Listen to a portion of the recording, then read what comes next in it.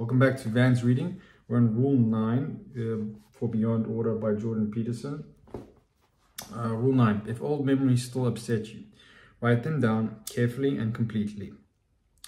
But is yesterday finished with you? Imagine you undertook some truly terrible actions in the past. You betrayed or hurt people in a genuinely damaging manner. You damaged their reputation with gossip and innuendo. You took credit for their work. You robbed them materially or spiritually. You cheated on them. Or imagine instead uh, you that you've been the target of some such events. And let us also assume you have become wise enough to try to avoid repeating the experience. In both circumstances, as perpetrator or victim, the actual events and the associated memories evoke fear, guilt, and shame. Why? In the first case, you have betrayed yourself. You did not play the medium to long-term game properly and are suffering the consequences. You are not the sort of person other people choose to have around. You might not even be the sort of person you want to have around. In the second case, you were badly mistreated by someone else. In some real sense, however, it does not matter where you were suffering because of self-betrayal or at the hands of others. What does matter, what does matter is that you do not desire any recurrence. Now, if you recall the memory or it comes back unbidden, complete with terror, shame, and guilt, this means something specific. It means that you fell into a hole, a pit, a more accurately, or were pushed, or more accurately, you were pushed there. And that is not good. But what is worse is that you do not know why. Perhaps you trusted other people too easily. Perhaps you were too naive. Perhaps you were willfully blind, perhaps you encountered genuine malevolence on the part of another or, or yourself. And that is the worst situation and the one most difficult to overcome. But as one level of analysis, whether you fell or were pushed makes little difference, not to the emotional systems that have emerged over the course of evolution and now serve to protect you. They care about one thing and one thing only, that you do not repeat a mistake. This alarms those, I'm sorry, the alarms those systems activate. Let me repeat that whole, I didn't say that correctly, apologies. But at one level, so, but at one level of analysis, whether you fell or were pushed make, makes little difference. Not to the emotional systems that have emerged over the course of ev evolution and now serve to protect you. They care about one thing and one thing only, that you do not repeat a mistake. The alarms those systems activate are fear-based, that is too weak a phrase. Terror-based is more accurate, the kind of terror limited to neither time nor place. And all they care about is reminding you of the still extant danger. A part of reality and a perilous part has remained unmapped, low resolution, lacking sufficient detail, and so has a part of you. You are not sharp, alert, dangerous, wary, wise, or kind enough, who knows? So, that so that terror systems protecting you are confident in your ability to wend your way successfully through the same maze if once again manifests itself in front of you. Learn from the past or repeat its horrors in imagination endlessly. Frequently, people do not so much repress the terrible things that happened in the past as, as refuse to think them through, pushing them out of their mind or occupying themselves with other activities. They have their reasons and sometimes trauma, tra traumatized people uh, appear literally unable to understand what befell them. It can be prohibitively difficult for abused children, for example, to generate a worldview philosophically sophisticated enough to span the full spectrum of human motivation. They simply cannot understand why someone might torment them physically or abuse them sexually. If they are young enough, it is likely that they do not even explicitly comprehend what is happening. Comprehending such matters is exceptionally challenging even for adults, but in some unfortunate and arguably unjust sense, it does not matter. Refusal or inability both leave a geographic area in memory unexplored, active, and rife with danger. It is a psychological truism that anything sufficiently threatening, threatening or harmful once encountered can never be forgotten if it has never been understood. Hmm, that's interesting. Uh, to orient ourselves in the world, and we need to know where we are and where we are going. Where we are, the concept must optimally include a full account of our experience of the world to date. If you do not know what roads you have traversed, it is difficult to calculate where you are. Where we are going, that is the projection of our ultimate ideal, by no means simply a question question, say of accomplishment, love, wealth, or power, but development of the character that makes all fortunate outcomes more likely and or all unfortunate outcomes less likely. We map the world so that we can make the move from where we are, from point A to where we are going to point B. We use our map to guide our movement and we encounter success and obstacles along the way. The successes are both confidence building and exhilarating. Not only are we moving toward our ultimate desire, we appear to be doing so properly and are therefore not only moving ahead but validating our map. The obstacles and failures are, by contrast, anxiety provoking, depressing, and painful. They indicate our profound ignorance. They indicate that we do not understand with sufficient depth where we have been, where we are, or where we are going. They indicate something we have built with great difficulty and wish above all to protect as flawed to degree both serious and not fully understood. We must recollect our experiences and derive from them their moral. Otherwise, we remain in the past plagued by reminiscence, uh, reminiscences tormented by conscience, cynical for the loss of what might have been unforgiving of, your, of ourselves, and, un, and unable to accept the challenges and tragedies facing us. We must recollect ourselves or suffer in direct proportion to our ignorance and avoidance. We must gather everything from the past that we avoided. We must rekindle every lost opportunity. We must repent for missing the mark, meditate on our errors, acquire now what we should have acquired then, and put ourselves back together. And I'm not saying this is always possible. I've seen people so lost that there was not enough spark left to survive. The person in the present had been rendered to in, insignificant to confront in his or her current condition, what was avoided even by a once healthier self in the past. And cynicism about the future rationalizes the avoidance and deception. That is how, and there is no limit to its depth. The humility required to claim, clamor out of such hell exists in precise proportion to the magnitude of the unrequited errors of the past. And that is enough to send a shudder of true terror down the spine of anyone, even partly awakened.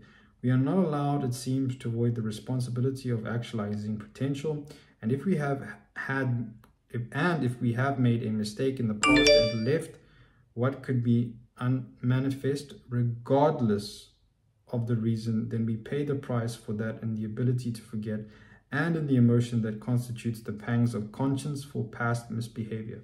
Imagine that when you are very young, the map of the world you used to guide your immature self is correspondingly underdeveloped, like a child's drawing of a house, always straight and centered, portraying only the front always or close enough with a door, and two windows always with a square for the outside wall and a triangle for the roof, always with the chimney and smoke, which is a surprise because smoking chimneys on are not all the common all that common now.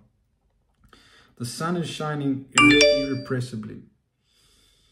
A circle with a rays emanating from it. There are a few flowers, single lines with the schematic of a bloom at the top and two leaves halfway up the stems. It is a very low resolution of representation of a house. It is more hieroglyph than drawing, more concept than sketch. It is something that represents the idea of a house or perhaps home generally like the words house or home themselves.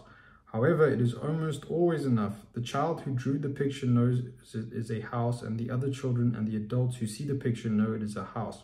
The drawing does the trick. It fulfills its purpose. It is a good enough map. But all too often appalling events occur within the houses. These are not so easy to represent. Maybe the house has adults in it, parents, grandparents, uncles, or aunts, who say such things as never, and I mean never speak to anyone about what happens here. A few squares, a triangle of smattering of flowers, and a benevolent solar orb offer only in only an inadequate representation of horrors characterizing such a dwelling place. Maybe what is happening inside the house is beyond both toler tolerability and understanding. Both tolerability, toler, toler, tolerable, tolerability, and uh, and understanding. But how can what is but how can what is terrifying be beyond understanding? How can trauma even exist without comprehension? Is not understanding in some sense a prerequisite to experience itself? These are all these are all great mysteries, but everyone is not experienced at the same level of conception. We have all been petrified by the unknown, even though that seems a contradiction in terms, but the body knows what the mind does not yet grasp, and it remembers, and it demands that understanding be established, and there is simply no escaping that demand. If something befalls us, or perhaps worse, we re-engage in some act that freezes us in terror and nauseates us to recall we are bound by implicable fate to transform raw horror into understanding or suffer the consequences. Um, Do not fall twice into the same pit. I had a client who began speaking to me almost immediately after we met over the sexual abuse she suffered in childhood at the hands of an older cousin with whom she lived. She became markedly tearful and upset when she recounted her experiences. I asked her how old she was when, she, when the abuse occurred. She told me she was four. She described her attacker as much larger, stronger, and older than her. I allowed my imagination to roam freely as she spoke, making the assumptions I believed or my fantasy presumed were justified by the nature of her description. I envisioned the nefarious, sadistic, and criminal mach mm, machinations. I think machination, machinations, machine. I can't say this word and criminal machinations of a late, of a late adolescent or young adult. Then I asked her how much difference in age there was between her and her victimizer. She replied, two years. He was two years older than me. What? This came as a genuine surprise. and changed the picture in my mind almost completely. I told her what I had been imagining because I wanted her to know what assumptions I had been formulating as she related her story.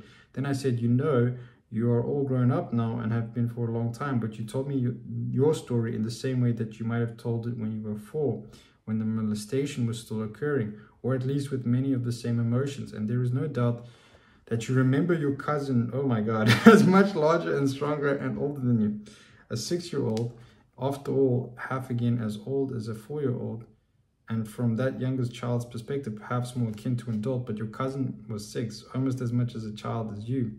So here's another way you might consider thinking about what happened. First, recall the six-year-olds with whom you are now familiar. You know that they are all still immature and cannot be held accountable as adults might be for their actions, even though they might also not be altogether innocent. I'm not trying to minimize the seriousness of what happened to you, and I'm not questioning the intensity of your emotions, but I am asking you to consider, consider the situation as if you became aware of its occurrence among two children you presently know. Kids are curious, they play doctor, and if the adults around them are not paying attention properly, such games can get out of hand.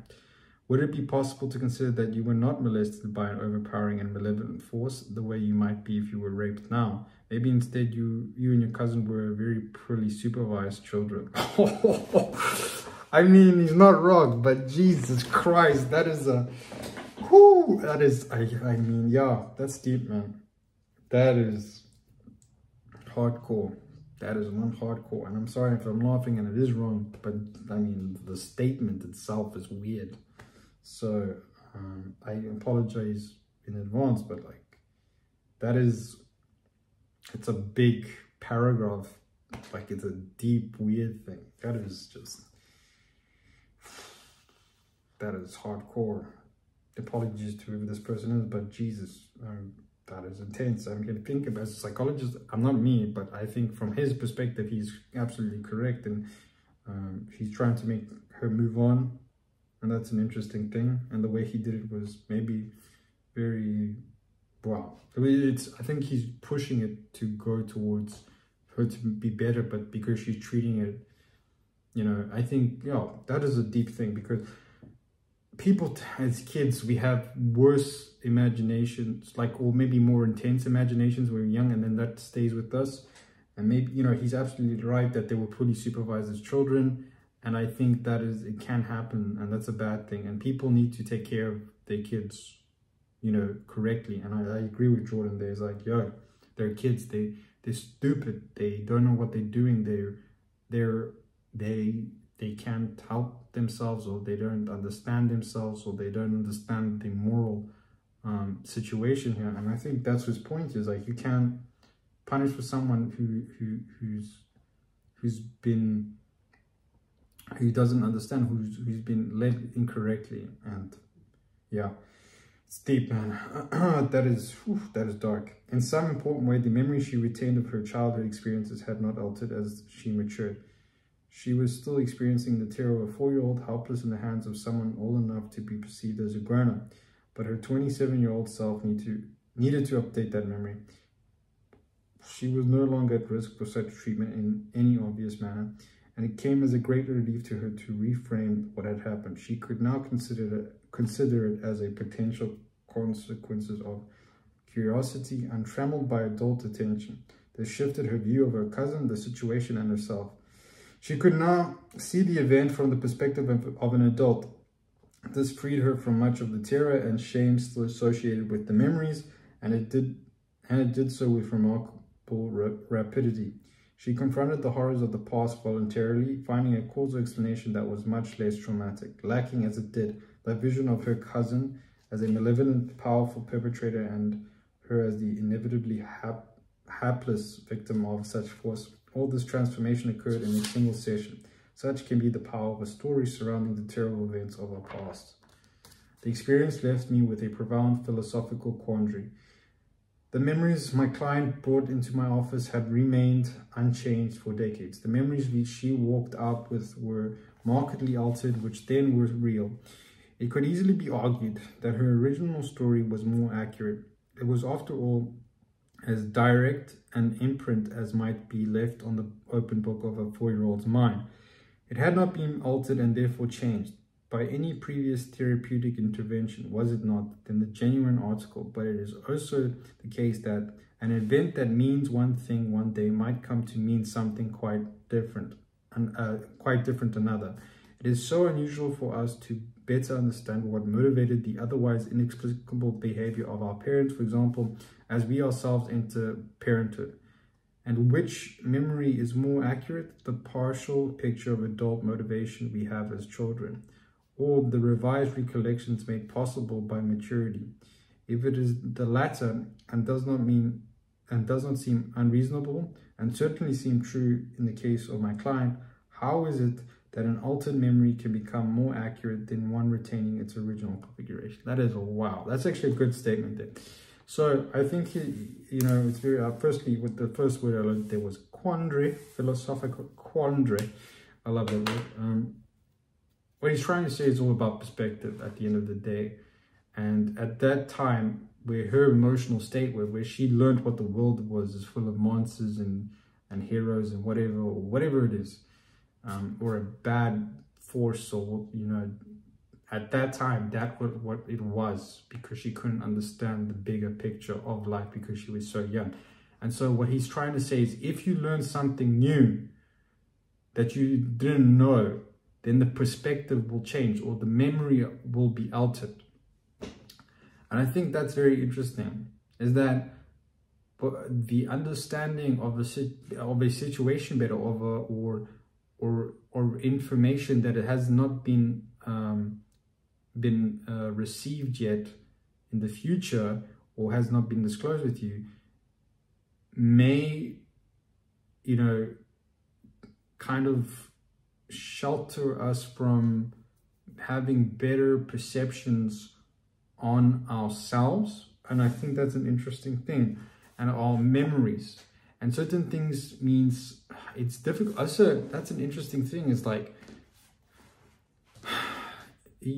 there is some kind of moral ambiguity when it comes to past memories. Is because people teach you oh this is bad this is good this is bad. But then you have a realization of okay what is morality in a, in a long sense is because things change. Because firstly it depends on the situation and what may happen in the future may help you understand why it happened. Like for instance, this is a terrifying thing, right? But this is the truth is that we have serial killers and psychopaths.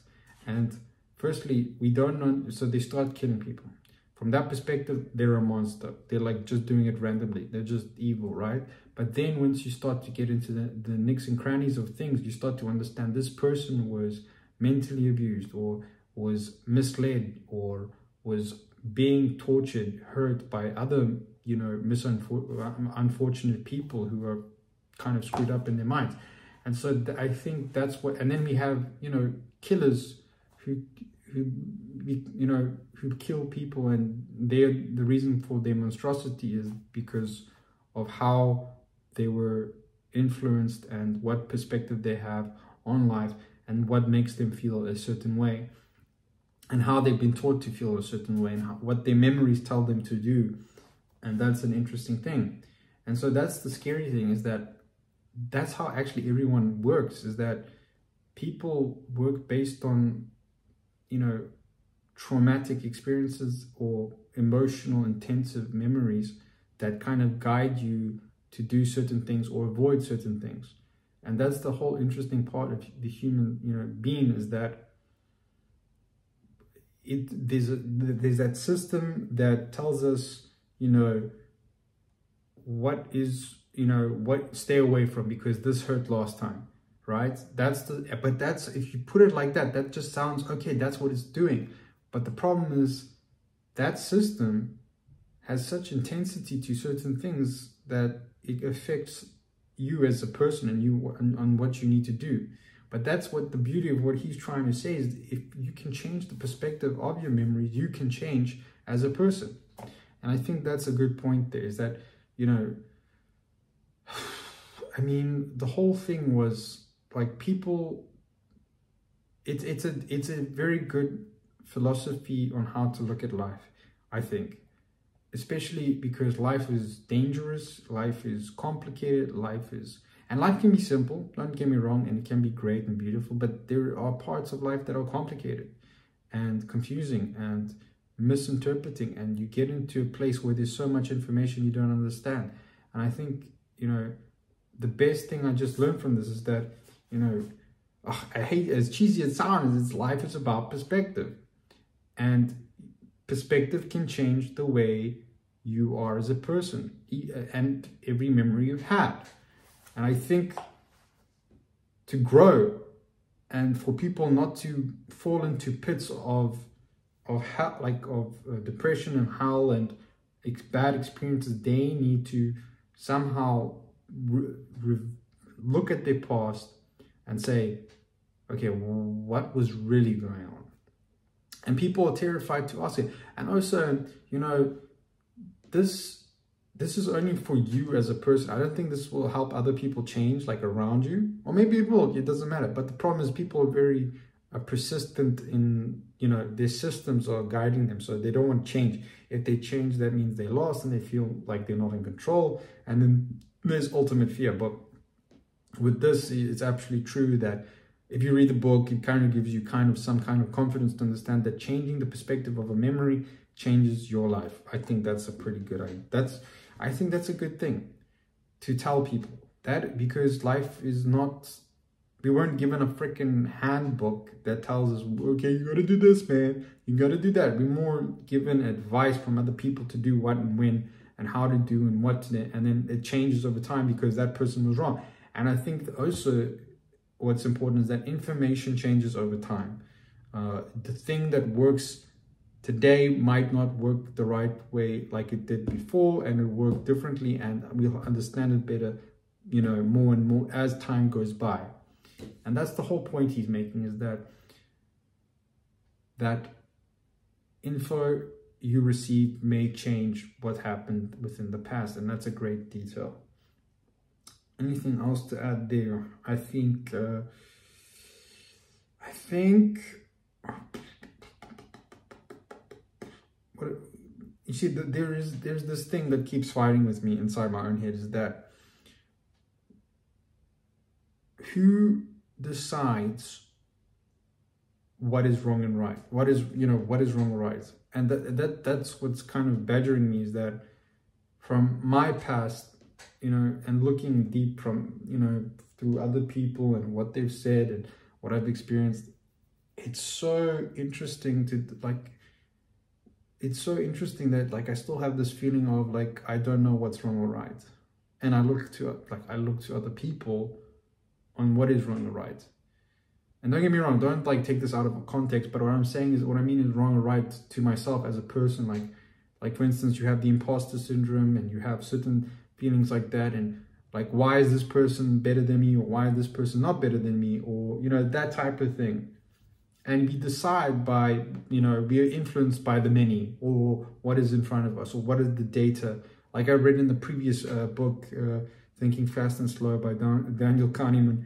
And what's interesting is that he points out that the information we have is what is right. Like if we get we'll get influenced by the information in front of us no no doubt in the mind, no doubt in his mind that as soon as that information is in front, that is what is right right now. That is correct to you. That seems, you know, correct. But that's not the point. And and, and what I'm saying is that if the case is that perspective can change memory, therefore that means you can have some kind of control over who you are.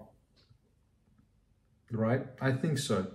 And I think that that kind of can can can can can kind of you know can kind of motivate you to be something that you always thought you could be which means that to become the person you have to be you might need to have to change the perspective of who you are.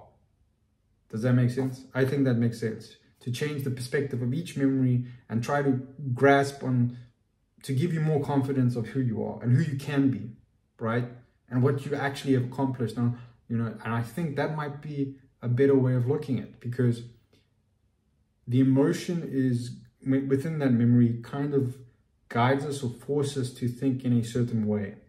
It kind of like it's like a traumatic uh, experience or like it's like ptsd right? Post-traumatic yeah, syndrome in a way. Um, and that's what's interesting is that that ptsd kind of like, oh, kind of makes you kind of hide or kind of makes you um, do erratic things or do stupid things or, you know, and that's what's interesting. That's what, that is, whoo, that is hardcore right there.